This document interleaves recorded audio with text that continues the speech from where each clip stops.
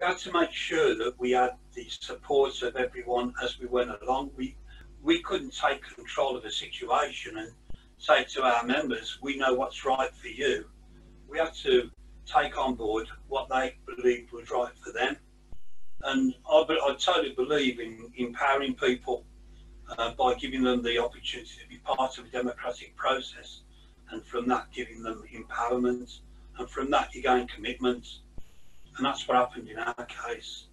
Uh, the members were committed to each other and they were committed to each site um, across the board. We were all part of the same problem, so we had to collectively find the solutions.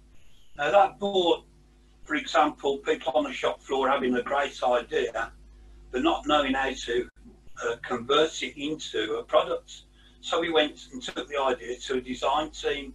The design team looked at the concept and used their skills to design a way forward.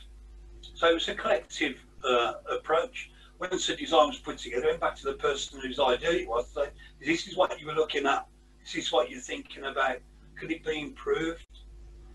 Uh, one example for me was I was an electrician in those days. I remember machines breaking down. I used to, when I started off, go up to machine and, and work my way through trying to find a, find the fault. So I'd be there for quite a while.